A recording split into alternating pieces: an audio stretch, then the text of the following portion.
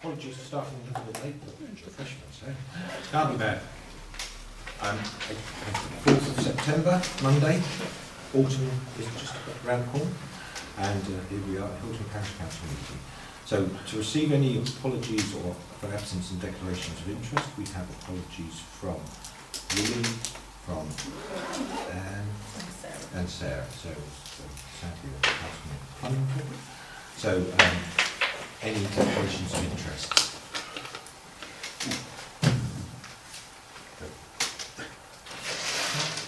I'll just mention that we'll be bringing a couple of items on the agenda forward so that Ian can contribute to those before he goes and has a rest. He's been busy all day. Um, so, this is the point where we close the parish council meeting and open it to the floor for general public and our county councillor to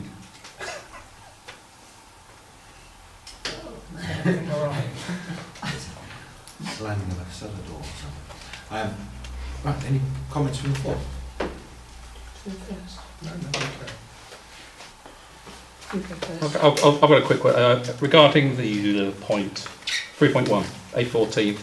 So over the summer, it's been, uh, I guess, recognised that the lorry volumes have increased through the village. Um, so we're trying to work out which are attributed to the A14 construction work, as it's a prohibited route, as we know. Um, of course, there's no way of telling. Um, they, they haven't got a scheme yet of how they might identify those lorries to anybody else apart from those on site. So it's been a bit hit and miss. I reported a whole load. I think it stirred something up there. I think they, they said they had 43 reports. I think Joe's had through Joe up to that point. I sent another 16 in. It's coming to the point now, I understand, not through the A14 project group, but through Mick George, through Joe Gossage, that they're going to put an electronic system in as of this week. Well, I can't get anybody to recognise that's going to be the case, where all lorries have to be pre-registered, their details pre- pre-populated, so we will know beforehand, and also if we see lorries coming through, we can identify which ones are and which ones aren't. It's still not a great system. They haven't a big sign up saying this is an A14 lorry, which they also have. So some work needs doing on that, I think, because they have acknowledged there are lorries taking the shortcuts and they're being reprimanded, given the yellow card, etc. So that's one point. Um, of course, the other point um, with this is the increased volumes, HCVs, increasing the pollution levels. So part of the HCV group, uh, it's a shame Sarah, Sarah couldn't make the last meeting we had, uh, are pushing ahead to try and do some monitoring by that group of all of the villages around the A14 area using diffusion tubes because it's the only way to get some empirical uh, data of what the pollution levels are around here. So uh, I think they're going to write to the parish council and ask for their support to do that. Uh, that's a great thing. They've done it in other villages. Um, we had some monitoring here before. I think that would be something really good if we could support that because at the moment it's, it, there's nothing to prove what the what the actual absolute levels are or aren't, or whether they're increasing or decreasing. So, so they're the only two things on A14 I wanted to cover. Thank you, Peter. Margaret. Margaret. Yes, please. Um, 5.8, the armistice centenary. Um, first of all, could you verify something for me? When I emailed um, Joe, um, I said that I had been asked to request, uh, formally request a lighting of the beacon for the centenary, but I would have preferred it if my name hadn't been on the agenda. Is that a normal procedure. I thought normally the residents' names don't go on the agenda in that situation. Sorry, I mean, I'm, I didn't realise that you would have a problem with it, obviously, in Well, future. it's not my request, you see, it's Right. somebody else's. Okay, well, as it came from you, I assumed it was Mm. a request from yourselves. Anyway, So- um, so that was really what I contacted about because I had been asked by someone to make a formal request to be for it to be discussed. I know it seems early, but things go by. Um, regarding, briefly, regarding ideas this far, um, one was an indoor street party here with various things happening, um, like the beacon and a peal of bells, um, and a twinning with another Hilton in the rest of the country. Um, obviously, there will be a very special Remembrance Sunday service because it comes on the 11th of the 11th month that, that year. So um, we really need to be on our way with something or other by Christmas because these things take a lot of time to So that's all. Thank you. Poppy planting? Oh, yes, poppy planting. Um, there's been a suggestion that um, the nation, particularly through scouts and guides, will plant poppies across the nation so that that will be a poppy carpet. They will be needing to be planted this year for next year. Thank you for It's okay. So that, that's really where things are at the moment. Thank you. Ian? I know you've had conversations about communications, so I thought I would bring along what Houghton and Wyton do. Um, and this is, this is essentially the work of the parish. I'm quite happy to leave that with you. I know Margaret wanted to have a look at it as well. After the Okay, after you've had a look at it. Okay, so it, it's information, so it says who the parish councils are, it says what you've been up to, it tells what, etc. All the sort of things that you do, except they send this round to every parishioner twice a year. Hemingford Abbots do something similar, but maybe not as glossy, put it like that. Uh, they only do it once a year, but they have a newsletter which goes round once a year to all residents, and it's normally however long it happens to be, because it varies from year to year. But I thought it would be worth just communicating what other people do. It's got useful numbers on it uh, as well, and contacts, etc., the sort of things, the website, the clerk, etc., etc. But also things like that, which is how can the residents help you? Suggestions. So it's, it's quite a reasonable. In my personal view, it's a little too glossy for my taste, put it like that, although I guess uh, that's their choice, not mine. So I'll pass Thank that over to, to Joe, and you can have a look and pass it around, and then you can give it back to me, because I know Margaret wants to have a look as well. And then I'll talk about the other issues when we get Okay, so we'll say the, because I'm going to move those two items up. There's two items that we'd like to move up the agenda um, whilst you're here. Yeah. Okay, so on that basis, other two members of the parish here, any comments? Sorry, can, can I just add something? Sorry, um, various bodies and individuals are being con- contacted in the village as well. So, Oh, for the centenary? yeah, Yes. yeah. Sorry, I meant to say that. Thank you. Okay, so we'll now go back to item two on the agenda, so we um, close the public session open the parish council meeting, which is to approve minutes of the parish council meeting held on the third of July, long time ago, as we have to. I'm happy to propose that those are approved. Second. All those in favour? Rob can't vote on this and Ian can't vote on this, because they weren't here. Thank you very much. I was just looking at the... Right, so, um, although the agenda says three, we're going to bring up, first of all, um, item... Point five, which is the report that changes to bus timetables, routes to Whippet buses, no longer operating many services. And for this point, I will ask Ian, our county councillor, to give us some feedback. Okay. I think you're aware of most of the information that has come out. Uh, Whippets, obviously, as you know, operate quite extensively in the Huntingdon area, mainly from historical uh, background because the Lees operated out of Hilton for many years and some of them still live in the village. Um, so there was a lot of services in, uh, in Hilton. They were taken over and bought out by an Australian company about 18 months ago, um, which is, they operate in London, Brazil, Australia and Singapore and places around the world. Obviously, uh, what they've done is look at the business and as a result of them looking at the business, they had made a decision which they can do. It's a commercial company uh, as much as post offices and, and other areas of uh, business. So they decided that they would cease these routes it's about half their business, give or take.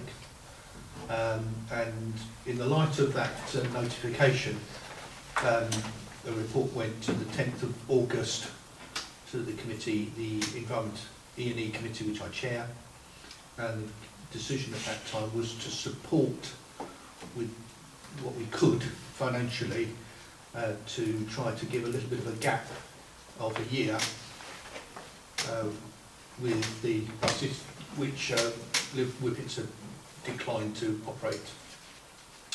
That meant from that date trying to find new operators and that's not easy in itself because if one company doesn't do it you have to find somebody else that will do that uh, not all of them were willing to do that for their own reasons because they've got too much business, they don't want to do it for all sorts of reasons. So we have secured um, what I would call a temporary arrangement for a year. Um, that has affected a lot of villages, Somershams, Earith, Plantations, Fenstanton. You've seen the list, I'm sure, as much as everybody else has. Um, a lot of parishes, have, uh, and I'm saying that that is a year, it's thinking time, uh, parishes, districts, um, and it's time for you to have a, a think about the way forward, the long-term solution. Um, and a lot of them have done some surveys. Hemingford Abbots and Hemingford Grey have undertaken a survey of all their residents about the sort of things like how often, where do you go, where do you want to go, how often do you use it, etc., etc.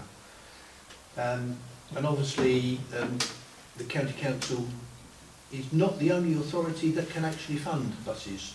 Um, you can, as a parish, you can put money into buses.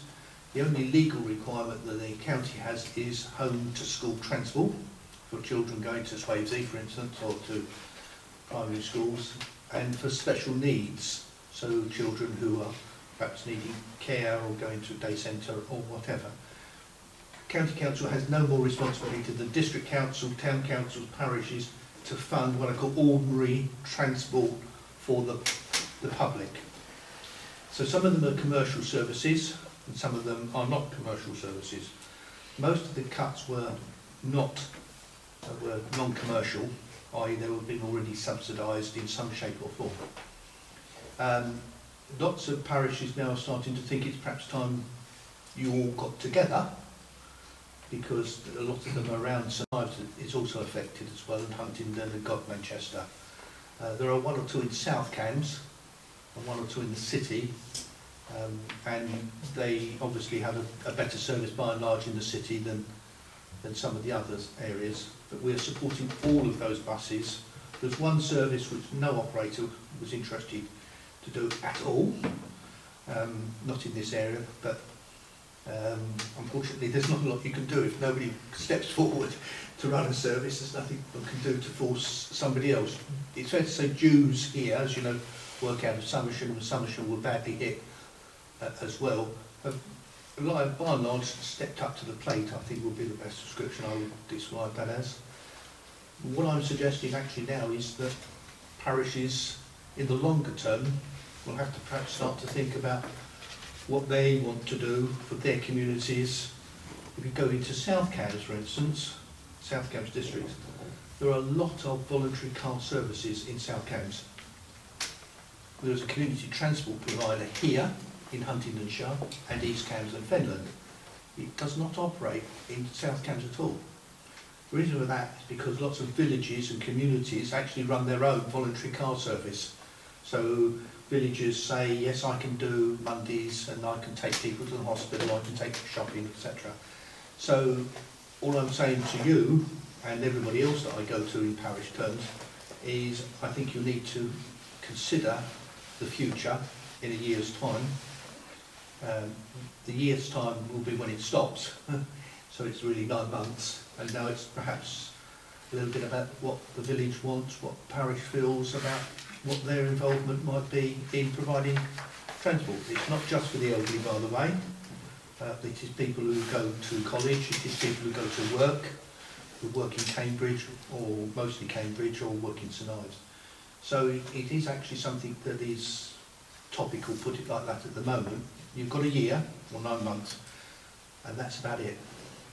Uh, if nothing comes forward, there will be no service in Earith, Bluntisham, Fenstanton and elsewhere, unless, unless the likes of Dews can make it commercially profitable for them to do, in which case they may take it on.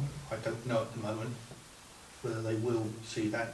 But it does come down to people using it, because if It you does. don't use it, it goes. I mean, it's a very simple thing to say, but unless the commercial companies actually get the patronage on, on the on the buses, the bus companies make um, make a loss, which they can't stand, and some of the subsidies are quite high per passenger. You'd be surprised how high they can be. Something like twelve pound per passenger that the county is subsidising. Well, actually, one would say is that value for money? Twelve pound for one person on one bus. And you see the buses sometimes going around and carrying a lot of fresh air, but not necessarily many passengers on it. And it's time really to see what communities want to do in the future. I'm happy to answer any question, but at the moment that's the current position. We've got new people in.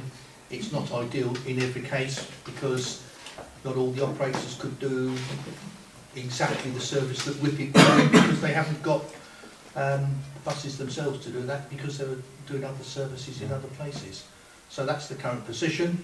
Um,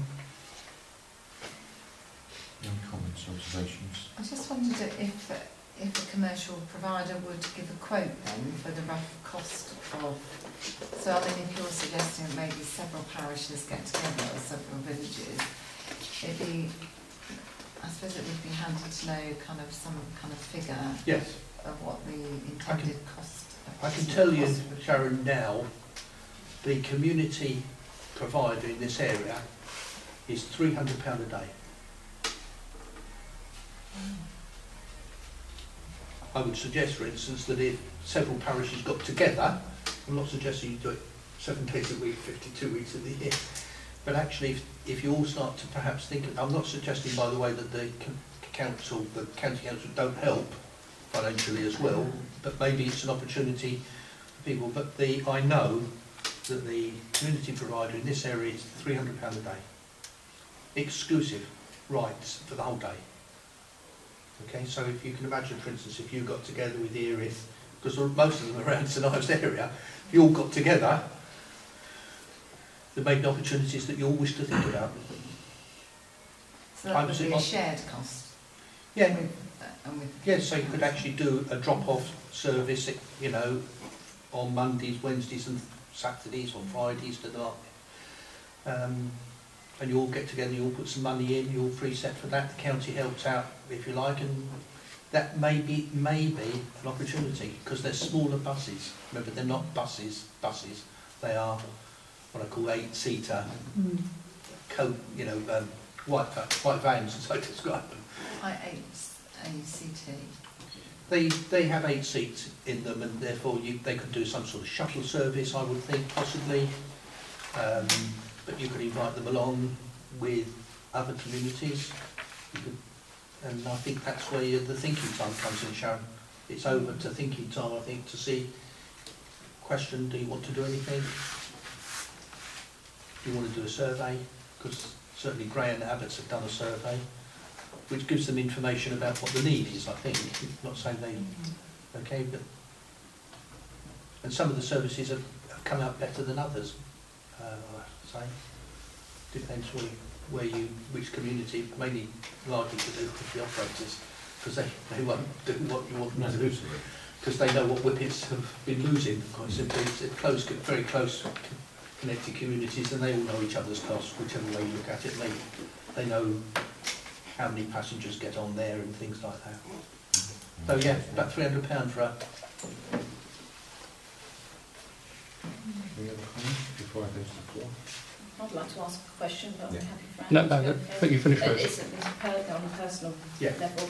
And what about like the children that are expected to go to sixth form? Because there is an expectation now that children are supposed to stay in education until they're 18 or Yeah. find a job or apprenticeships.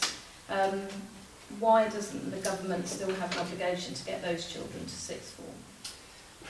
well, quite simply the government doesn't. And that comes down to what the legislation says. It's quite simple, the legislation is very clear, it's home to school, it's only up to a certain age. Don't, the county doesn't have the responsibility, any more than you do, by the way, okay, or the districts do, to supply people that go to sixth form. I fully understand the problem. Solving it, I tried to work with the bus operators, with, bearing in mind that report went on the 10th of August, so between the 10th of August and now, there's been a whole lot of work going on because not only do you have to get a new provider, but you have to notify the traffic commissioner who has to prove what you're doing. And actually what you've ended up with is not ideal, but put it like this, the option was nothing at all, anywhere, or something. You've got something. but there is no requirement, Joe, unfortunately. It just seems ridiculous that we're, they're Yeah. expected to be in education until they're Yeah. 18 now, yeah. You know. Yeah, I I don't, mean, I children don't, made decisions to go to sixth form in Cambridge before all this information came out and now they're all stranded and have nowhere to go. Yeah. I don't disagree, Joe, Mm. okay, and I've done, I've done my best. Yeah, no, no. Okay. Uh, because you're not the only community that I've had to communicate with. I've one of the service, by the way, that nobody wants to do goes into Newmarket, by the way. So you might imagine I've had some people from the villages around Newmarket uh, because they didn't have a choice because nobody wants to do it. So um, that's the current position. Now I appreciate the fact that it's not ideal for everybody uh, because a lot of people are going to work. If you look at what's happening in Grey, in the centre of the village. It's very different if you happen to live in um, the Yes development and lines and you live across the way in Fenstanton bit.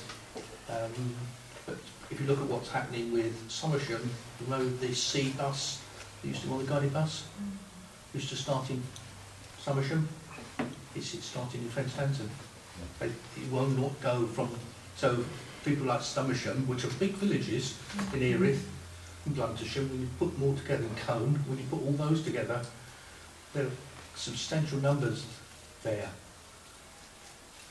I, don't disagree, Joe, but doing something about it, I'm afraid, won't tell you how much it's costing us. But it's a lot of, quite a lot of money to actually keep it going for a year. Would it be worth planning a, a kind of a joint meeting of parish councils, maybe, you know, in three to six months I wouldn't leave it for six months.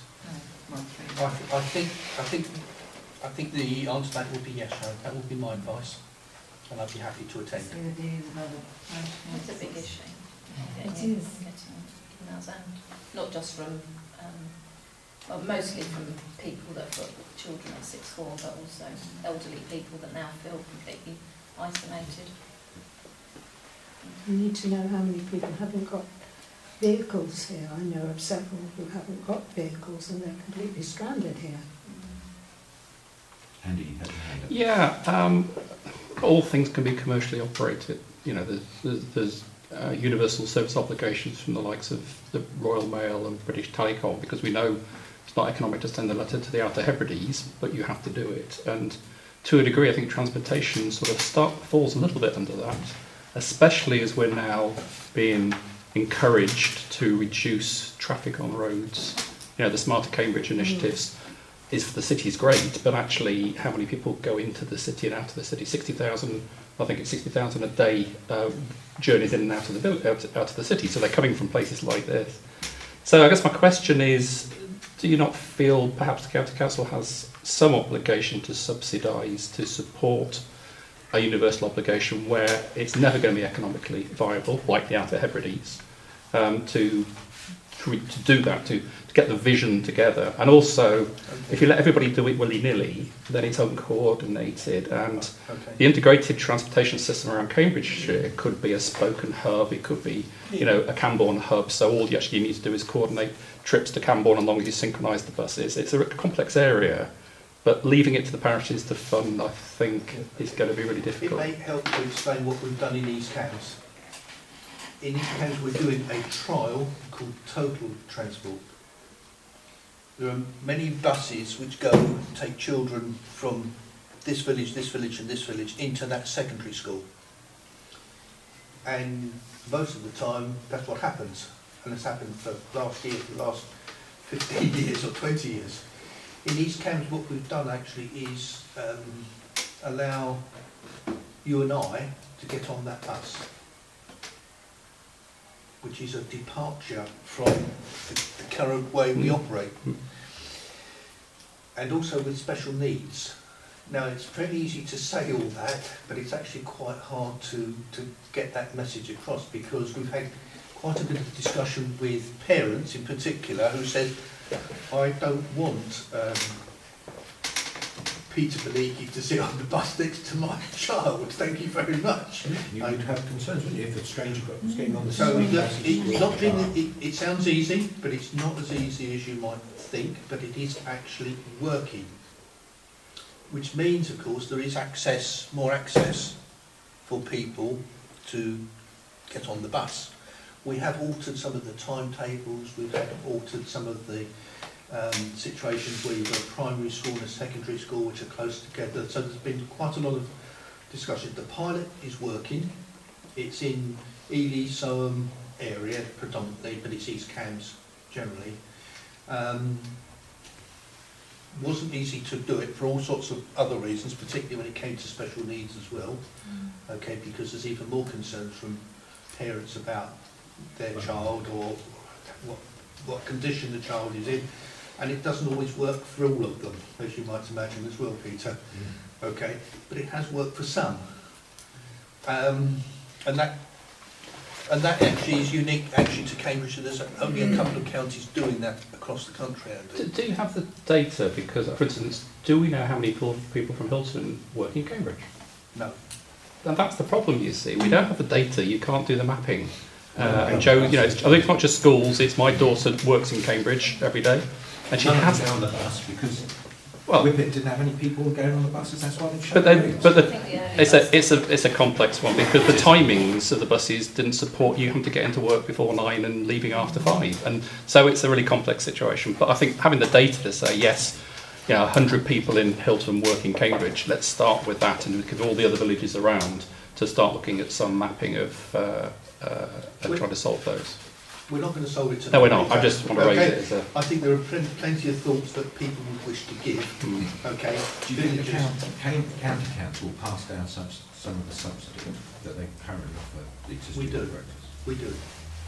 Because that's Okay. important. And we do it to community transport as well. Mm. But you know the problems of the county budget, Peter, which actually is the elderly and the children, okay, which is really under pressure, um, which we have a statutory duty to do.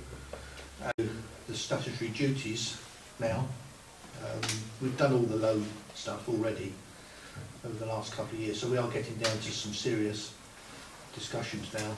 Um, and I think the one thing you can guarantee, it's got to change. Something has to happen, okay? And it's not one of us responsible, it's all of us responsible. And, I mean, I would certainly encourage a survey. Well, I, other county council plan to do one because we do lots of separate ones. They're inconsistent in, in quality and, and accuracy. Perhaps the county council ought to be looking at this as a holistic view to survey the county.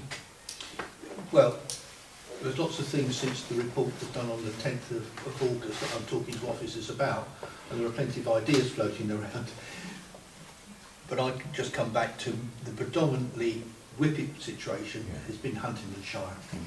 Okay, it, it has very has not affected East Cambs, it has not affected Fenland, um, City, and a little bit in South Cambs. And when I mean a little bit, I mean one or two routes not, not significant. Predominantly, the Whippet situation is Huntingdon, historically, because that's where the company operated from. So it is quite, if you like, a unique Huntingdonshire, but not actually much around Yaxley, which is in Huntingdonshire. Yeah. Okay, it's not actually in the south, it's not St Neots, by the way, either. It's quite around St Ives area, because that's predominantly where they wat- operated from, because they came out of the village, didn't they, this village? Assumptions tend to be made that people should use the guided bus, especially for schools. Got to get there. Yeah, that, that's the Well, that's where I think uh, difficulty, isn't it? Well, you, you, you, Yeah, you, it's that's, that's, I think, where some of the thoughts need to be thinking about. Where do people want to go? Mm. What time do they want to go? Is it work? Is it for, for college? Is it for people going to Bar Hill, by the way. I've, I've had people who work in Bar Hill, um, but lucky enough, that was before the result. They're not in this village, by the way, but I've had people who work in Bar Hill, I agree with, um, a- universal survey would be good, but also perhaps to ask people whether they would be happy to, to, you know, for it to be in, increase in the precept maybe, because I'm sure most householders would, wouldn't mind Yeah. a, a slight increase to accommodate, you know, other service, that, that's But something. I, I, you've, got to, you've got to start somewhere, Sharon. I think all I'm planting is, dare I say, the seed. Yeah. How, how much the seed grows, I think, is, is another question. Because, dare I say, you know, Hemingford Abbots, Hemingford Grey, Fenstanton, and all those other villages, okay? Houghton and Wyton, I think they kind of got their solution, by the way. Okay, they've worked on their solution already. I think they saw what was going to happen, because their bus service got reduced a couple of years ago, um, uh, considerably, and they decided they would take alternative action, and I think that parish council has already solved their problem. I hope that, fingers crossed, I can assist in, well, I've financially assisted already, but I think because they could see what I call, they could see what was coming over the hill, and that was no buses. And they saw that a couple of years ago, and they've done something about it. And they're funding it, by the way. I'm just giving them a, giving them a bit of money, but unfortunately they're doing it all. And they're taking the initiative, it's their initiative in Houghton and Wyton, but I think you'll find Houghton and Wyton would not be on your list, Sharon, because I know what they're doing, because I think they've solved their problem. okay. Thoughts on the table?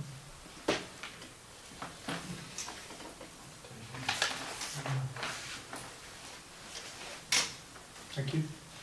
Thank you, David. Sure, Just seeing if there's any other comments around the table at this stage? Thinking hat, not. Yeah.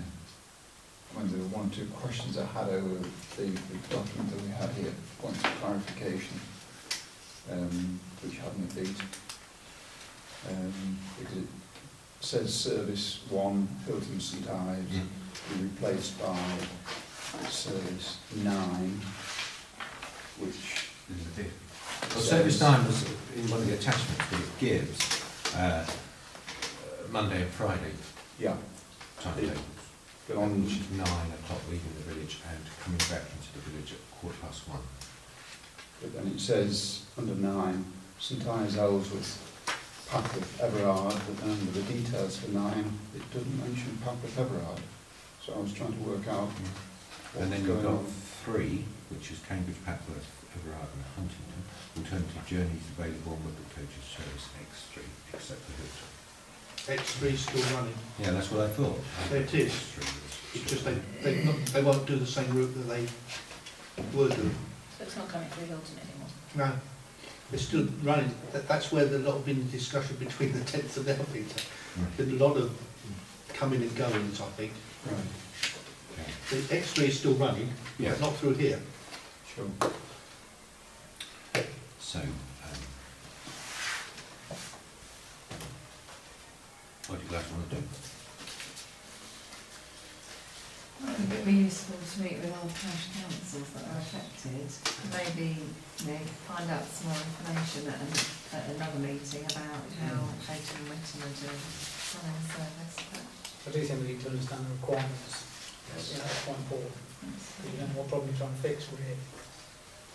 And that goes back Generically, we know there's a problem, and obviously there is a problem, but you know, No. how do you quantify that? I don't You know. can't I, make a I, I decision. don't know how many people use the bus in Hilton myself. Yeah. And That's back to Andy's point, do they not use it today because actually it's, it's slightly off, if you do it right, it could be really popular, in which case it could fund itself in some way. What you don't know, for instance, is how many people drive like I do. Yeah, my In- in- in- in- Well, I, I, I know what I do, if we want to go on the bus, I go to the park and ride site tonight and get on the kind of bus. So I know what I do, but how many other people do just that, I, I don't know. But you've got a car to do it with. Yes, I know, but that's. Yeah, I guess that's the point, if there was a service that took people at the right time to the guided bus, rather than go everywhere else, would, would a lot of people like yourself that perhaps drive today actually find the bus more convenient and do that instead, and actually all of a sudden it would become a viable service. I think that's the, you know, people look at the existing solution and what's been taken away and think that's the problem, that perhaps that isn't the problem.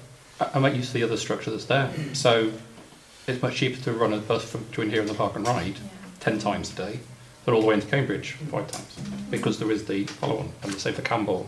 So it is that integrated system that needs really looking at. I, I agree with you. The requirements of the village, we need to understand who here goes where When, and when, absolutely, and when. If you're going to start giving, offering lifts, you've then got insurance difficulties. To, with group to look at it outside of the meetings to report in. but I think Sharon's point, actually, if you got a few of the local villages together and everyone got their requirements, there's probably a better solution that serves three or four villages than there is just Hilton on its own that really probably can't justify a lot because of the number of people in the village. Um, particularly Papworth and places like that, potentially Yeah. come through the village. and- Yeah. Yeah. Yeah, that's where it They really do. is, isn't it? Okay, thanks. Us, Constantin, up to the guided bus. Mm. It's really, And there's about ten villages, okay? There's about ten villages you've got the head- around St Ives, okay, that that include Papworth and all the others, that are actually all in the sim- same situation that Hilton is in. And ten actually, when you think that's, but I think you do need to understand what the need is. Um, Right, I think the parish council needs to set up a working group to be able to look at this outside the meeting. We can't just come back next meeting and say what we're about. Mm. We need some discussion and thought about it before, in between then. So, anybody like to do that?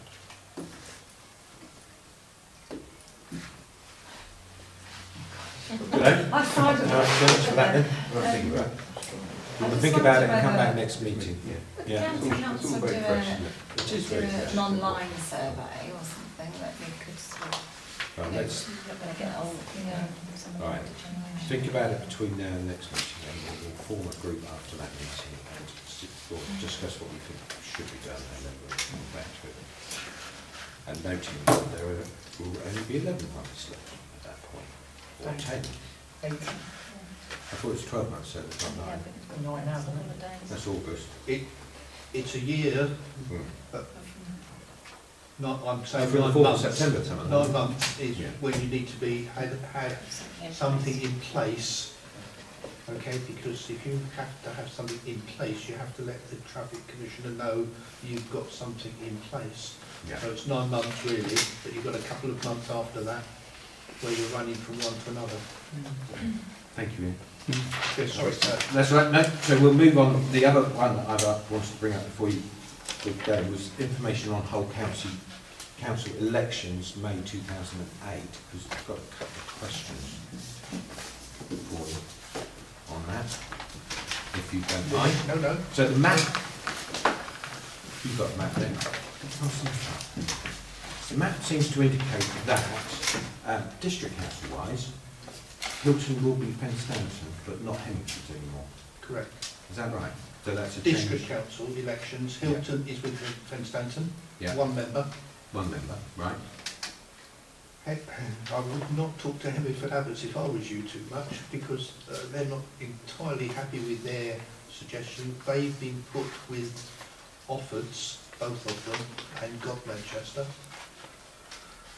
So uh, uh, I wouldn't advise you talk to anybody. got- oh yeah, Godmanchester. Yeah, and then- and then you've got left with Grey Yeah, and Houghton and Wyton yes, together. in Huntingdon North. Uh, I think just on their own, aren't they? Oh, that's Huntingdon East, sorry, I can't believe it. I I knew it was too small when I looked at it on the thingy. Oh, Houghton and Wyton and Hemingford Grey and Houghton, yes. Yes, they're together. Ah, okay. And on the uh, scheduled names of parish wards and number of councillors, Yep. it said Fenton- Fenstanton South, 11. Is that spread across those different, on this document, which is the local government, England, I think it's one, isn't it? it says 11. It says 11. No. Fenstanton South, 11, number of councillors. Fenstanton North, 2. Fenstanton South, 11. And then it goes, and, and when you look at That's parish councils.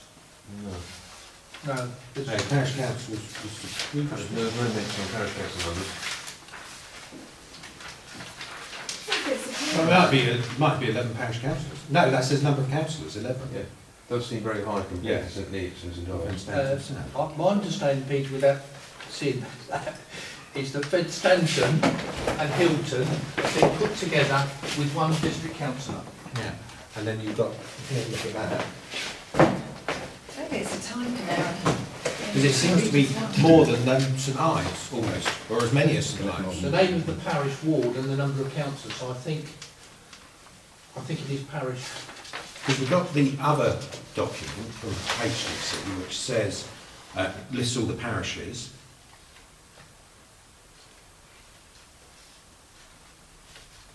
No number of councillors. The, no, no, the first bit is, the, the first bit is Fenstanton one. On this bit says Fenstanton one. Hmm. I think it's Fenstanton and Hilton, one. Hemingford, Grey and Houghton, two, which is my understanding. Okay, this is the top bit. Yeah. And then Hemingford, Yeah. Hemingford Abbots with Godmanchester, and the Offords is three district councillors. Right. So Hemingford Abbots, Godmanchester, the two Offords will have three district councillors, that's the block.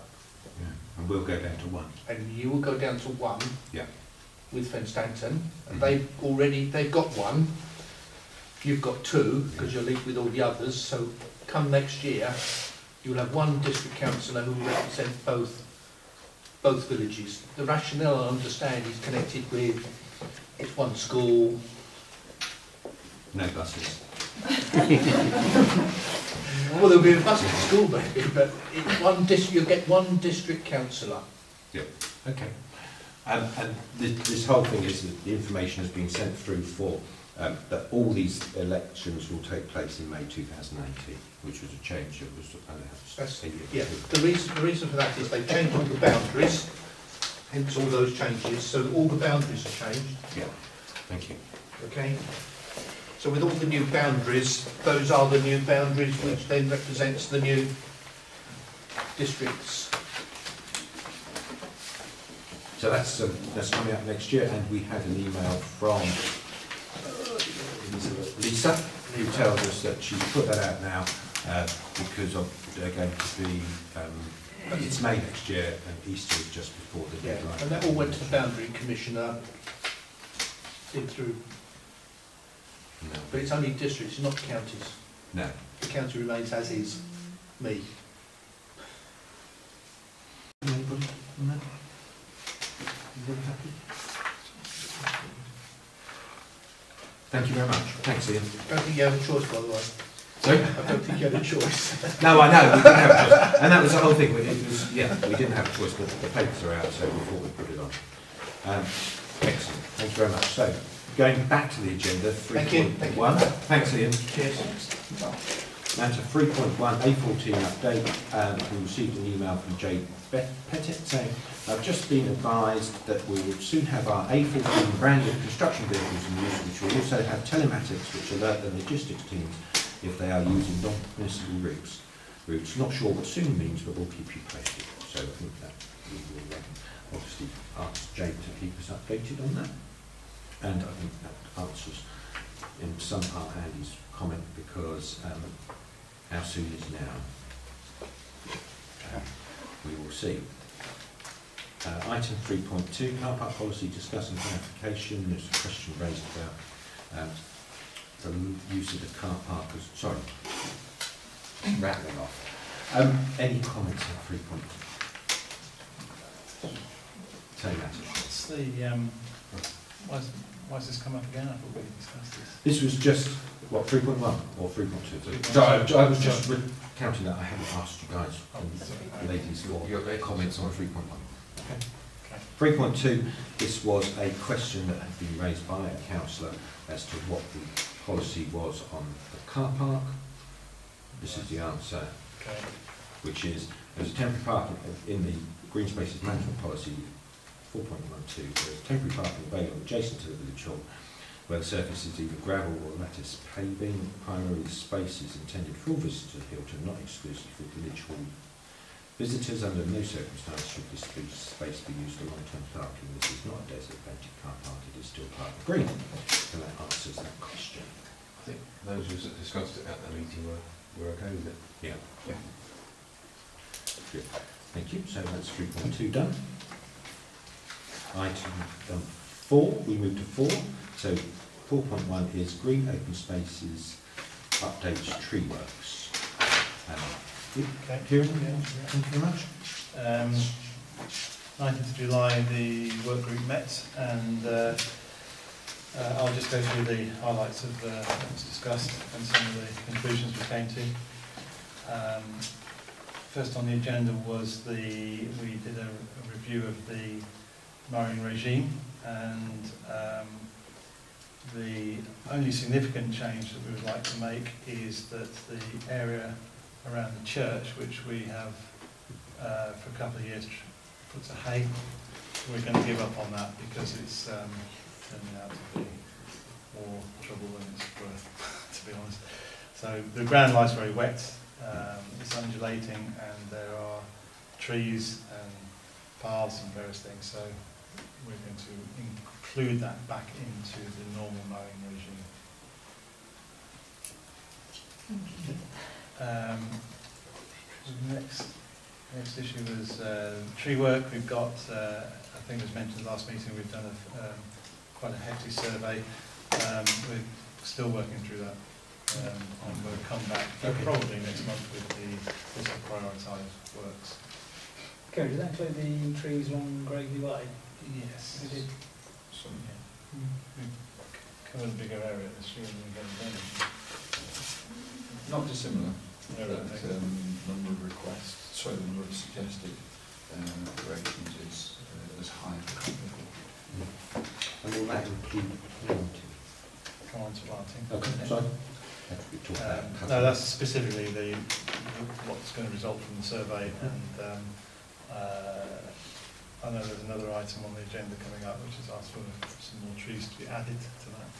So, um, so we'll take the whole thing in the, in the round and present it next Yeah. month. Because I know the timing was around October time to plant, wasn't Yes.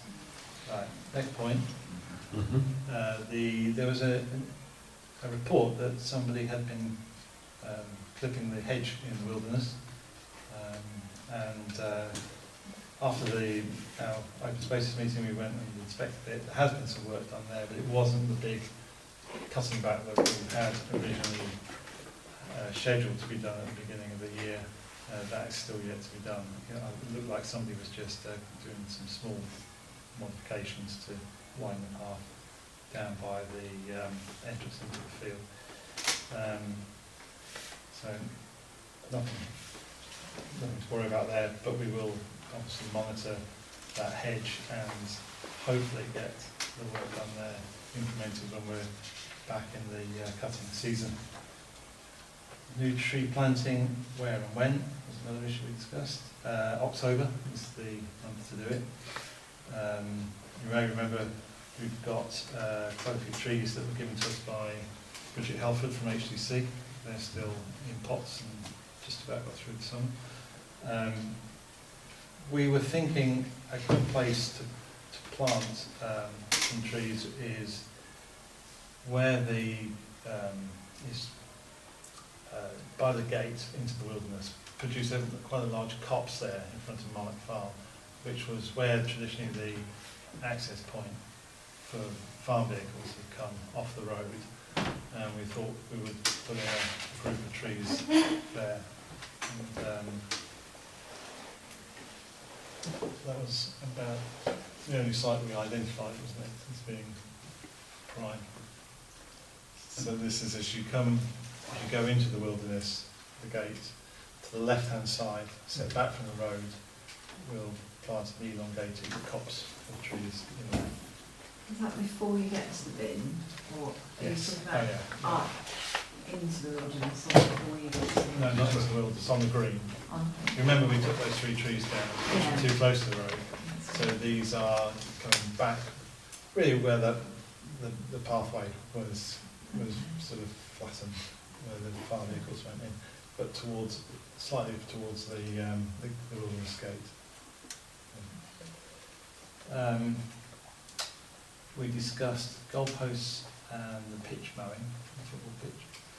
Um, we uh, had asked a few people around the village about who plays football, what happens, and uh, it does appear that it's, it's almost unheard of that somebody would play a game with two either end. What tends to happen is you get some older kids playing and one younger kids want to play. So having two goal posts is a good thing to have, but they don't necessarily need to be connected by a huge pitch. So uh, although uh, time has marched on, the conclusion we came to that it would be good to have the two posts from the end of the hay cut to around about October time, um, and then go down to one post, and then the following year do the same routine again with two posts, but um, the following year pull the other post out. You know. So we oscillate. Um, obviously, that's on the basis that um, um, oh, sorry, we would just mow half the pitch um, during the winter, and that's on the basis that the um, club is not playing next year. Uh, obviously, we would review that if they did then get back um, and cut the whole pitch.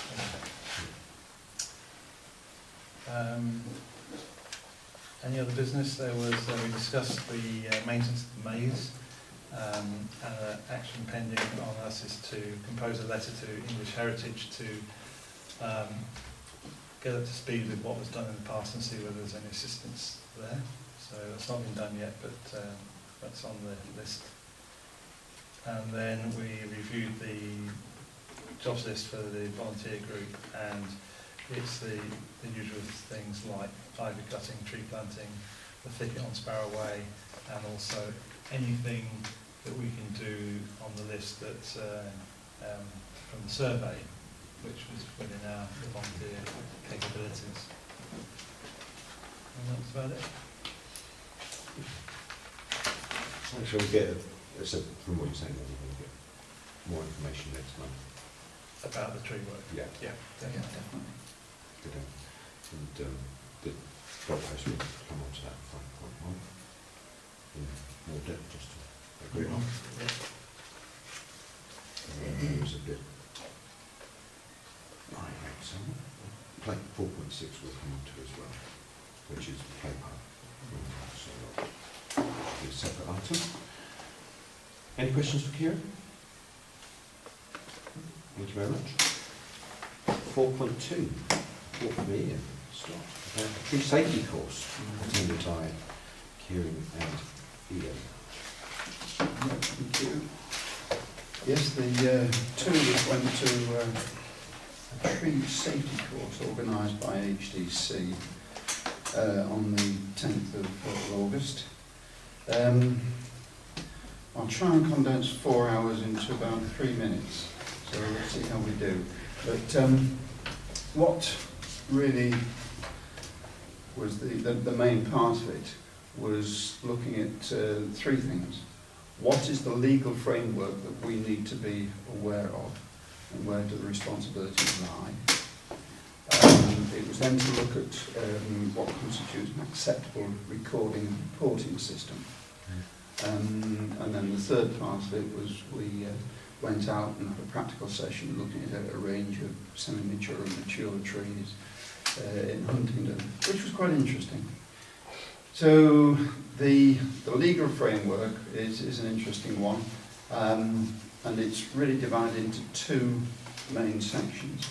It's things that are under common law, and to a large extent, common law is, is common sense. Um, and thank goodness it's accepted that the onus, when we start to talk about that, is not just on the PC, but it's also on the individual. So it's up to uh, the members of the public to, to use common sense when they're going around the village. Um, didn't always occur, but uh, we live in hope.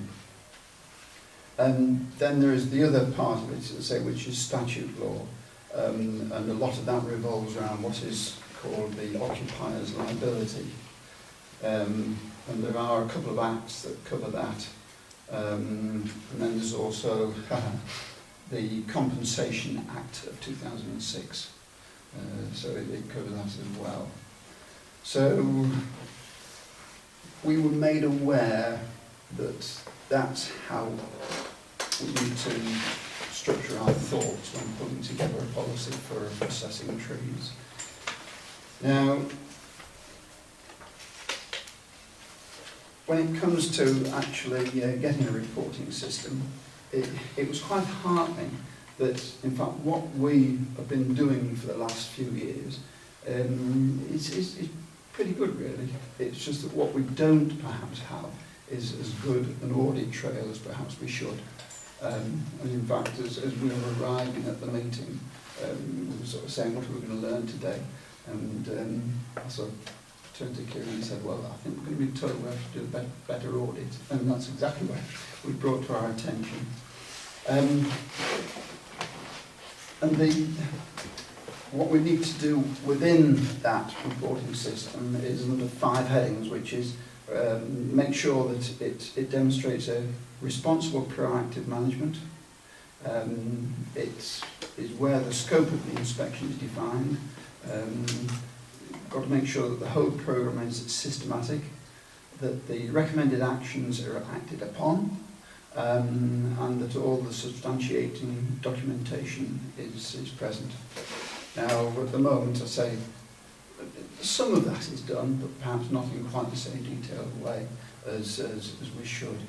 And following on from that, um, I pulled together an inspection policy, which, Joe, you circulated to everybody, did you not? Or Yes. PC and parish council members.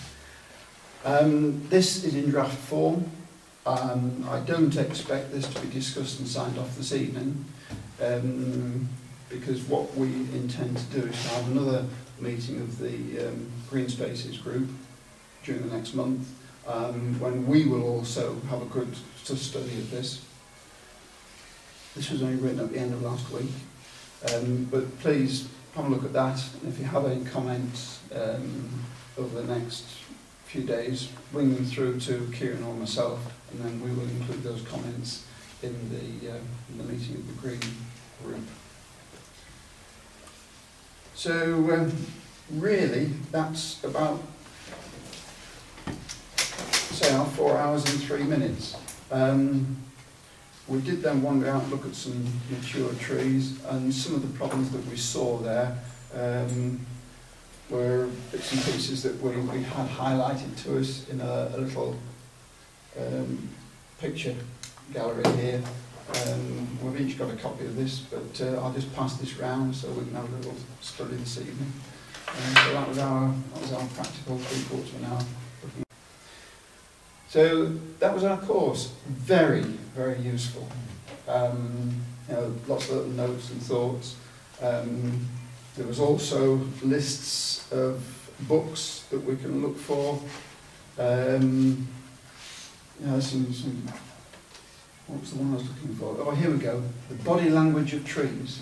now it's it's all on, on your Christmas list, isn't it? I hope so. Um, but yeah, no, there's some good ones. Tree mechanics. Stupsi explains the tree. God knows what that's all about. Uh, the law of trees. Um, so on and so forth. So there's, there's lots of bits and pieces that um, if you are interested in, know, we've, we've got these lists here.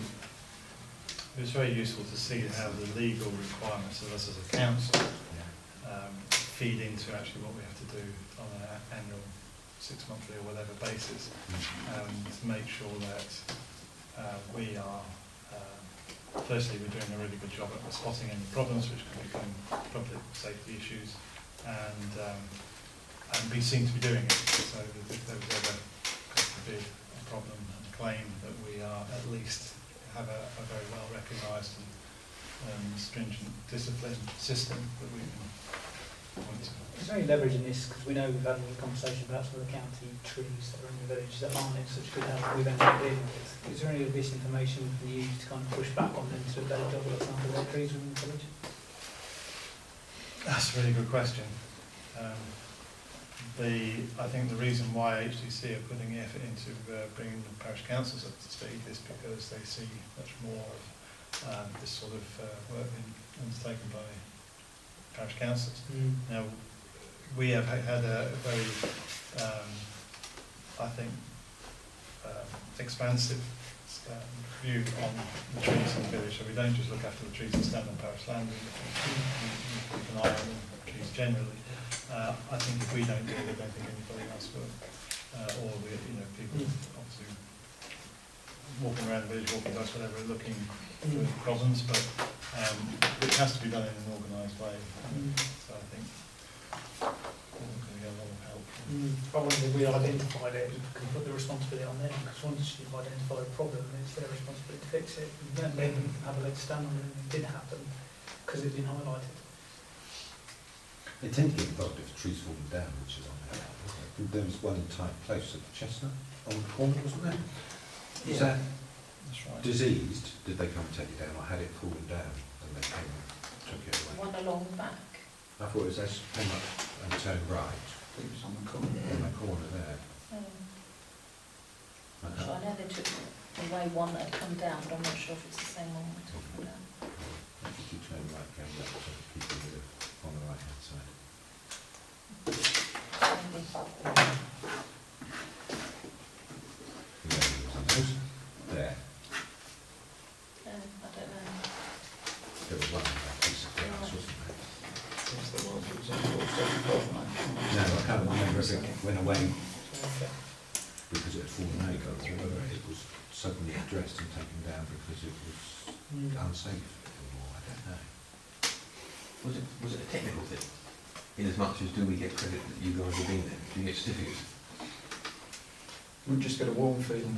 Yeah. So, so I'm just thinking that if, if something happened, the fact that you've been, well, I'm just getting the impression it was more of a sort of legal obligations rather than technical. Well, I the, the actual seminar itself, I don't think was, it was, had any accreditation, No. but it, it was an eye opener really to say, well, you have a, as a parish council, you've got this responsibility. These are, this is the legal framework, Right. and therefore what you should be doing is this kind of um, uh, surveying and procedure, and have it written down, have it traceable. And that was really the, in Yeah. a nutshell what came out of it. Whereas we've gone out and done a survey Yeah. each year and acted on that in accordance, in line with the um, priority raised on that to Yeah. ensure that the trees are of a safe standard for the village, but it's just formalising that a little bit more. Absolutely, yeah. And keeping a separate record That's that it. This was a survey, this is the work that was completed. And having a policy, Yeah. which was never had written down No. before. They do. So just got one comment on policy. Yep. It says an approved tree surgeon. Yes. Would that vary each time, or would we actually be paying him to come? Because obviously, Mr. Tree Surgeon might have a vested interest in, do you use a different one each time, do you think? Or is it one to be discussed? No, I mean, that was my interpretation for inclusion in our draft. Okay. Um, we also have an example of another Oh, okay. uh, policy uh, that was carried out by Little Paxton, and they have, they go as far as to have an HDC approved tree surgeon. Okay. But he then produces a um, multi-page document um, which uh, is of significant cost. Oh, okay. Now, Yes. currently, what we do seems to work. Yeah. Uh, it seems to be within what we were asked to do when we we're on the course, and it doesn't cost us anything. No. So I thought that was the better approach rather than going to copy what they were doing. And we do split the work between That's the the tree point. surgeons. Yeah. So, and the person who helps us with this knows full well that there's no obligation. Absolutely. Yeah. Yeah. Great. So, um, you're going to look at that a bit more. So we'll go, we'll go through it again, Yeah. then presumably we'll have to go to the policy group to get this Looked at looked at, and and then, then brought to the council. Thank you very much. Okay. Thank you. Any questions? Any questions for Kieran? No, Thank you for attending. Um, Item four point two. can you take house plan and volunteer group to amalgamate? This was a question that came up, and I asked Jane, we have that actually agreed that. I don't think we'd agreed, I, I definitely remember it coming up, but I can't. In the last minutes. Sorry? It's in the last minutes. Yes, but I remember it being aired before that, Oh, the sorry. idea of the two being amalgamated, but I don't think it went any further than that, so, um, depends whether we're, obviously, we're happy to amalgamate the two. Should we defer it until Anne is here? She's been pretty instrumental in both. Yeah, it was Anne that queried it. It's Anne that It'd be unfair- asked for it, It'd so. unfair if we voted against the two amalgamates. Express it, yeah, I'd defer that to next meeting when Anne's here. We've Anne proposed it. Is there any reason to defer? She may want to, um, Depends how the vote goes. yeah, Fair point. Fair point. yeah. If the vote is against, Yeah, fair and she, then she may feel she hasn't had the chance to voice. Yeah, so I think it would be fair to. Okay. Item four point four is website update. You're getting there. Yeah, I was hoping to say tonight, it's live and ready to go. It's so close, all the information's loaded on. Um, next week, it'll be, Justin? yeah, so what I'll do is, um, as soon as it's ready, everything's on, I'll, um, send out a note to everybody, if that's all right. Mhm. uh, so you can start reviewing it um, before we start publishing. Yeah, well, I said autumn, so autumn Yeah. is coming. It's so close to being ready, Yeah. I've just run out of So time. let's just make, let's make it right before we launch it. It's close, and it looks much better.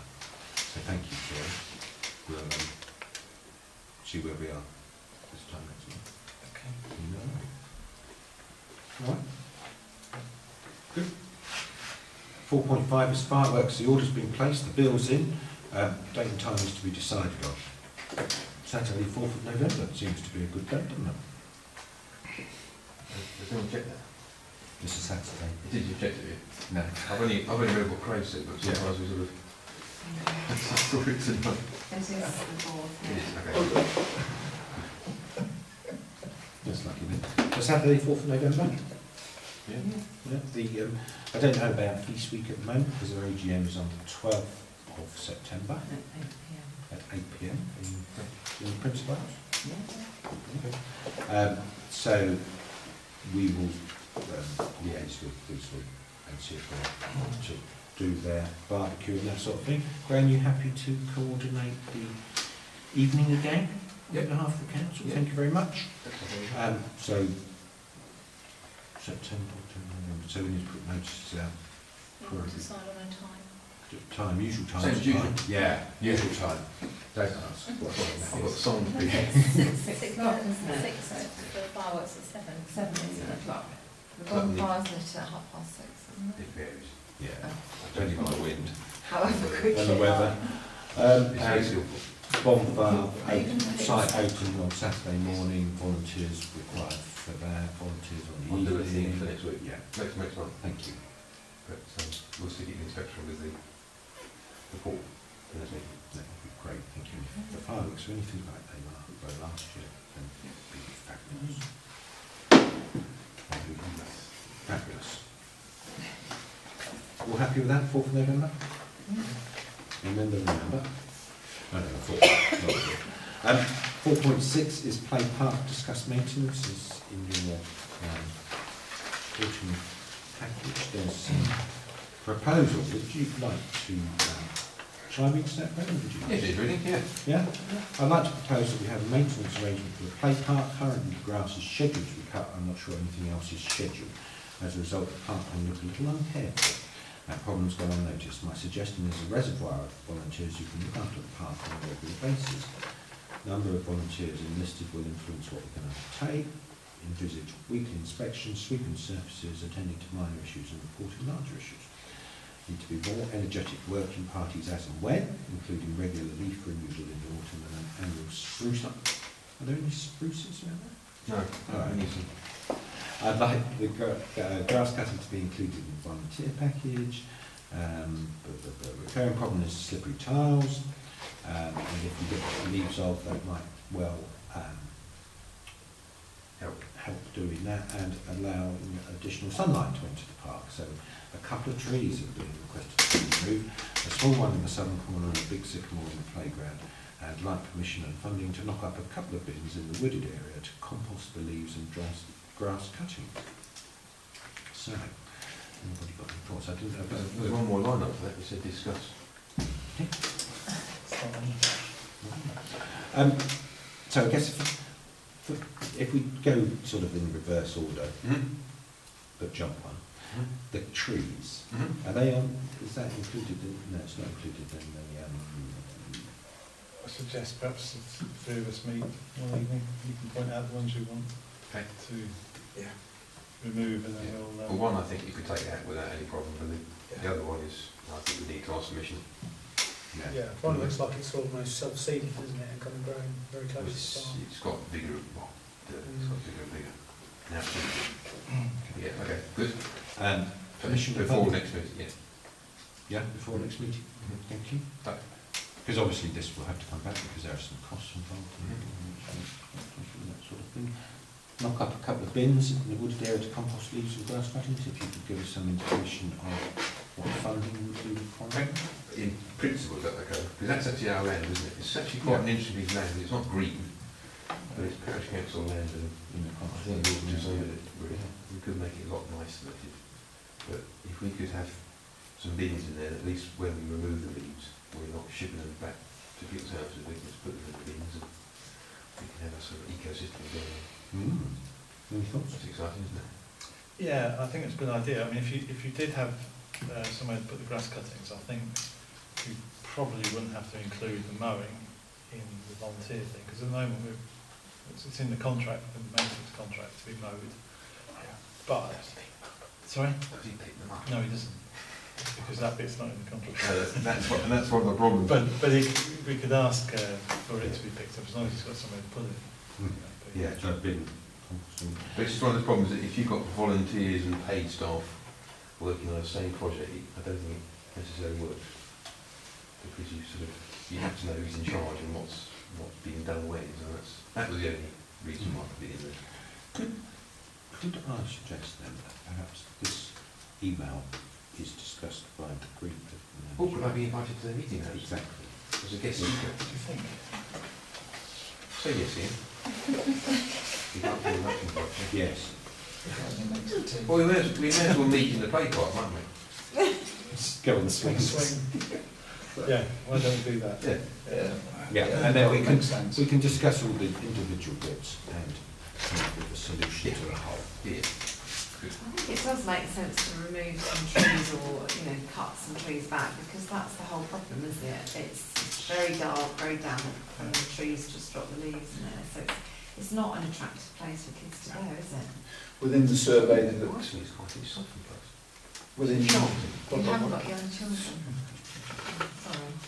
Sorry. uh, in the survey that Glenn and I did, we identified that, that there would need to be quite a bit of work done next to the um, play park. So, um, yeah, we'd already thought it through. But, uh, the let's removal of trees? The raising crowns, Oh, right. Raising crowns. raising What's the lower crowns? But we could, we, we- we took three trees out It's the sunlight that's the problem from the top. Yeah. But we can discuss it then. Yeah, please. I think Then we'll come come up up with with the, the, the low crowns. Yeah. Just, um, okay with that? Yeah, with that? fine, yeah. I'll wait for the info. Um, Five point five, um, correspondence communications. Five point one, decision on goalpost new netting following inspection and discussion by Green Open Spaces. I think we've had the recommendation from Green Open Spaces that, Yeah, shall I go through it again? remind everybody, please. Okay. Between the Haycliffe and uh, end of October, we have two goals in Yeah. place. Not necessarily forming a pitch, but giving two opportunities for two groups to play. Um, and then from October onwards, we remove one. We then have, um, and then we mow half the pitch to give an area to play on. And on the basis that the club is not playing next year, there, we, there isn't no point in making a full pitch. And then, um, obviously, if that changes, we'll review it. Um, Yeah. and then the second goal that goes goes back in. we get alternate space. So got I that, think next year. So that's your proposal? I'll second that. All those in favour? Thank you. Sorry. I have a question for Graham though. We, we need to find the holes. You said something about you have a friend Yes, with a, you never guess where he is at the moment. He's in North Korea. On holiday. Timed that bad, but yes, so if he gets back, I'll, um, I'll invite him over. Is that right? yeah, that's fine. When he gets back. Yes, if you could. He went today. Hopefully not with his letters to take. So yeah, I'll have a look. Um, five point is a request from BTA to reach late tables for on the internet to properties at the Church Lane. And we were trying to find out some more information about this because HDC denied any knowledge of their interest in the land over the, beyond the, um, strip of land that's the parish council's. Now, when the parish council was approached to lay a gas main across the green, it charged three pound a metre. Right? British Gas offered a pound, the parish council charged three, following recommendation, and that was what was agreed on. At that time, we were talking of 358 metres of land. Now, we asked HDC about, um, well, they were charging because their strip of land is longer than our strip of land. Firstly, they denied that they owned the land. We then had to point out to HDC that they in fact took seven and a half thousand pounds for this across that land. But then the chap who was dealing with it left. Yeah, so the trail's gone cold. Mm. And I wrote to somebody else Yeah. and I've had no Nothing response. response. In the meantime, we've got this guy He's in the little house at the bottom there, yeah, but we can't, the BT man, yeah, but they can get as angsty as they want until we get a proper answer. So I think we need to chase HDC again because we can't give a separate agreement to that without, and if we, if we stick to that process, it's going to force HDC into having to make a decision. I thought part of the issue was whether they were crossing our land or not. I think we looked at them that last time and so agreed it What was were. about cross our land. And okay, what you're talking about is a pittance. Could we not, I mean, we said it would be good if we could uh, couple up with HDC and have a uniform thing. If we're having trouble communicating with HDC on this, can we not go it alone and just come up with, a- come up with a number? Oh, so we could say to him, yeah, BT, BT, we're happy for you, but we are not giving agreement for the rest of it. That has to come Yeah, from that has to be- HDC. Yeah, yeah, yeah. And these be done now, Yeah, It takes the frustration away from us, doesn't it? well? Yeah, yeah, yeah, happy with that. And they can go directly to HDC. Because that will be the, because the bit across our land will take them probably an hour to dig a Is hole this for the bung, the new house at the Yeah. bottom, the Mm. bungalow? at the back of the properties. But we need to take something just to prove whose land it is, and he is only sort of a total gesture. Hmm. And I, c- I And can't tell you how long, it's probably a metre and a bit. Yeah. It's not, it's not a lot. Which is why I wanted rather to go hand in hand with HDC, Mm. so that we weren't saying, well, we'll have twenty quid, and then HDC saying, well, we want twenty pound a metre Yeah. all the way round. Because they would be more used to laying that sort of, if we go to the district value, they're going to charge us three to four hundred pounds to come up with a figure for a metre and a half of land. But surely this is our problem, isn't it? I mean, we didn't give permission to the house. They must have a problem before. You would have As thought. long as you can show that we oblige them, Yeah. So they can should I, be chasing, shouldn't they? so what do you reckon? Hundred quid. Quid? Yeah. Yeah? Go out and say, hundred pound to lay this across our land, leave it to you to, uh, negotiate with HDC further, these are the people we've approached. Because there's always a paperwork associated with it, won't there? Sorry? There'll be paperwork associated Yeah, with it. yeah. There'll be one-off charge, but Yeah. That sounds fine to me, that sounds like they're If it's a metre and a half, It's quite an important metre and a half. it doesn't work without it. Hmm. Internet doesn't work around it. And obviously, the land being put back to the same condition as it is prior to being dug up, please. Happy enough? If they're watching a little bit, BT will charge them to do it, let's put it that way. So the proposal is we go back to BT Openreach and say that the Hilton Parish Council agrees that they can lay the cable for telephone and internet access across that strip of land at the end of Church Lane, hundred pound. Please, group. Sorry, that's charging BT, Yeah. not the residents. Oh, right, yeah. sorry. It's sort of a token amount. Yeah. Yeah, yeah. Um, on the condition that they then have to discuss with HDC access across the remaining piece of land and that they make good the surface as it was. Yeah? Yeah? Fine. I propose that. So, yeah, that probably, All those in favour? Thank you. Okay, five point three is a request for donation to the British Legion. The parish council has traditionally um, provided uh, a donation of sixty pounds for the Royal British Legion for the uh, Remembrance Sunday wreaths. Um, I propose that we continue to do that. this year is particularly good because the wreaths are in good condition for last time. Yeah, so British Legion will get, get one, get one of Yes, those. yeah.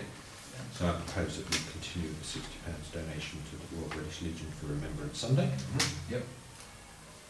So I'll second it. Thank you. Yeah. All those in favour? Thank you very much. Can I say a very big thank you? It's a pleasure. Could you record that, please? Thank you. Uh, email from Grave, okay, yeah, five point four, so email from Graveley Way residents are concerned about the safety of the junction during the Potton Road, discussion. So we have a big gold long email from a number of residents along Graveley Way talking about the problems that are faced coming out of, into Potton Road from Graveley Way. And that discussions have been held with Ian Bates from Cambridge County Council and asking what can be done uh, to sort that out. So I, I don't know about you, but I was proposing that I would volunteer to meet with the people who have um, written, and perhaps Ian Bates, and ask them what they want to see done about it before we go to the village and ask the village's opinion on what might be done, because some people will um, want to see one thing, the people living in the adjacent properties that might not want to see that as a solution. Um, there's an email from some a, a villager saying, why can't we have humps all the way along there? Now I know that when the speed indicators were put on Potton Road, that was instead of humps because the complaints from residents along Potton Road about the noises that the humps would make and vibrations. So there is a lot to be done around this, but I thought that we should uh, listen, actually see what they want to suggest rather than Is just... it worth opening it up to a a wider audience if they want, wish to attend? Because a lot of complaints come from a number of individuals on Gravy Way, obviously it affects everyone that lives. I thought it's the first step, Rob, find out what they're suggesting could be a Yeah, Well, they've written some suggestions that. Three people out. Unless we I got here very problem. well. I think if we did, More, but if you have an open meeting, I think you need to have a meeting where you've got three or four or five ideas. Yeah. So I thought first, taking steps. Yeah, so step one, talk to these people, ask them what their actual solutions to the problem that they've raised are. Step two is to survey that round with a meeting at the end of it to discuss what's been suggested and ways. Then there is a um, scheme through H- HEC or CCC, matching funding scheme, which the crossing. Phone not on Oh, I'm so glad he's done it as well. It's like he's got a little puddle on the floor. Do that. Yeah. You're gonna, you will get lots of ideas, I'm sure. And, and some of them will be, some people won't want them, some people will. I wonder if, uh, something to be done beforehand or as well as, Just to try and get a meeting with one of the road planners at an HCC. Or Or CC. KCCC. CCC. and, and find out what potentially the options could be. Yeah? Because Yeah, no, it is dangerous, there's a lot of accidents. Yeah. Mm. Uh, That's what I was going to say, because actually the highways have, you know, there might be some of the solutions we m- we might suggest might not be Yeah. appropriate Yeah. in high waste. And then- And we'd also get a feel for how the Like- mechanism would. Yeah, what the cost I'd be is. very happy to join you if you want Thank to you. do that. Yeah, that'd be good. But can I just stipulate, I think we need to make sure that it's a safer crossing, not an easier crossing. Because I think that Grady Road is in danger of being quite a good route. And so I don't think we want to encourage people down there, but it needs No, to I be say safer. agree, because it's a nice old rat run, isn't it? Yeah. Um, so we do. So there's, it's I not think there are some cheap solutions. But, you know, Nice twenty and miles broad. per. Stop the traffic each way. Twenty miles per hour. Nice mirror. on- Traffic lights or No. a mini roundabout. No. Traffic light. You, the, the danger with, tr- one of the objections makes you'll have with easier. traffic lights is people who live around there, do they want traffic lights Yeah. shining through their I houses? think they cause huge congestion as well. Yeah. So there, there, there will be ways, so let's take it forward, step by step, find out what the county council might suggest as a solution, find out what the people want, these people were proposing as a solution, find out then what the village wants to see in its village regarding a road improvement at that junction or mm-hmm. not, what the costings are, what funding is available, and whether people would be happy to pay for it if the precept was increased to cover the cost of it. Yeah? Because once you start saying to people, okay, this is a solution, but it's going to cost you over two years an extra what on your precept, desire for it may fade away, fall away. But we don't know because we don't know what the costings are, we don't know what, um, so let's find out some more information.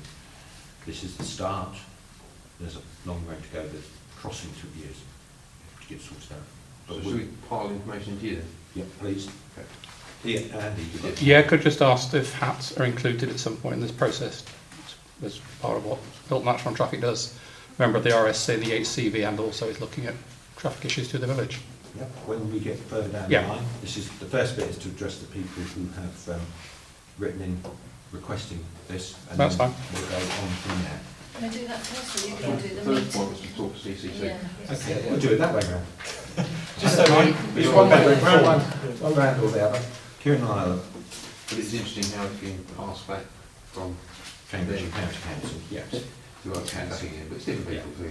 No, it's different people, we could go. Just up all right. It's, So at the moment, do you want me to hmm? reply to the residents to say that we're going to contact? Yeah, do that, and then we'll ask to and meet then- them, yeah? Peter, before you do meet with the residents, it's worthwhile bearing in mind what the parish council have done over the last X number of years. Two things primarily. One is that we put in the traffic calming on Potton Road. Yeah. Um, there was another thing. Graveley way speed reduction. Well, Grave, Graveley Way. Oh, sorry, the other thing was, we have brought the speed limit down from 40 miles an hour to 30 miles an hour. Mm. So we have been very active in the past and we've done two things, because quite often people say, oh, the parish council do nothing about this. We have. Yeah. But we're now taking it a stage further because we understand that you still have concerns. Yeah, and that's why I want to meet the people who've written to say, oh, Yes. Yeah, yeah. you presented a problem, let's have a solution. Propose a solution. Um, Take that out because, like I say, not everybody in the village may want Yeah. an improvement on that. Uh, Just to add, we did go to a similar meeting some time ago, and they, uh, they, they, they said that their thinking in terms of traffic control has uh, developed quite a lot yeah, they recent years. That's true. And just putting speed bumps in is, uh, is not their the answer. So I know the letters here are saying speed bumps and yeah. some of them are. Um, that's why I think having that, that input from yeah. CCC. Yeah, fine. Increase pollution. Yeah, and we know that when speed bumps were considered for Cotton Road, there were a number of people who objected to that because of the Sorry? And Grady Way. And Gregory Way, yes, it was, I wasn't um, Very nice. so in, um, aware of what happened in Gregory Way, but there was a big old fallout, wasn't there? There was people who wanted it and people who didn't. So we try and avoid that. Can I say something? Go on, Margaret. Um, the exit from Church End going right up into the village is very dangerous. You might like to include that in your um, deliberations. You can set off thinking, okay, going to looking towards Packers Fine, okay? Yeah. You might think, oh, I'm okay. You set off and there's somebody coming very fast down and Yeah, thank you, Margaret. We'll So that that well. might be worth considering at the same time, please. Yep. fine, we'll put that in. Because, why not? We've done five point five. Five point six, um, so this is membership for Joe for the Society of Local Council Clerk? Council Clerk. Yes, so um, that is this time of year again where we would, um, renew, and I think the cost is somewhere like ninety-three pounds, so I propose that we pay that. Thank you, Sharon. All those in favour? Thank you very much. Still the. Uh, Information, five point seven we done, five point eight, armistice centenary, I'll read an email we have received says initial conversations are taking place as to how the centenary can be acknowledged, not at least, not least to follow up major events in Hilton 2014 recording the start of World War One. Bearing in mind that history of beacons through the centuries involves communicating joyous and serious events, a suggestion has been made that the Hilton beacon should be lit at some point close to the centenary of the armistice on November the 11th, 2018, which falls on that Remembrance Sunday.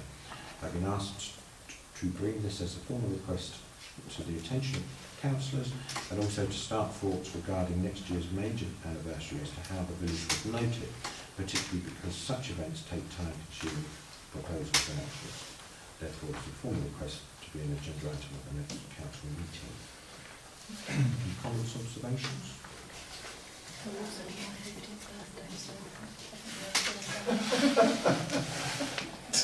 On that day?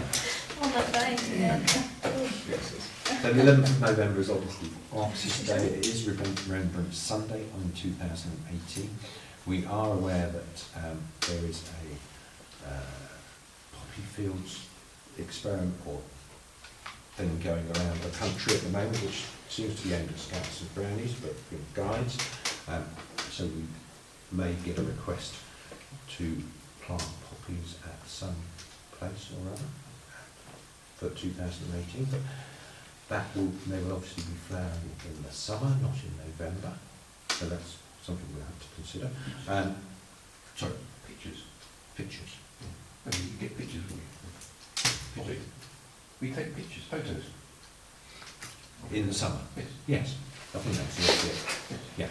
Yeah. And it seems a very new grand thing, but it's where they would be um, planted. Yeah. And then November 2018, Armistice Day, I guess if somebody comes along and says we're planning to hold an event on that day, would the um, council light its beacon at some point in that time? We'd probably support that? I think so. Yeah. With date, with time and where, well, we'd obviously go up in the wilderness, but time and, um, You've got to bear in mind it's a week after fireworks. it is. And I think if we're going to light it, it should be done on the day, because it's a significant hundred day, hundred year anniversary. And I'm sure there will be some more national move um, in the months ahead. But now, although for um, one event this year, there was a very late national movement for organising events, wasn't there? It was. Yes, very late. Mr Cameron came out very late. Well, he didn't come out, sorry.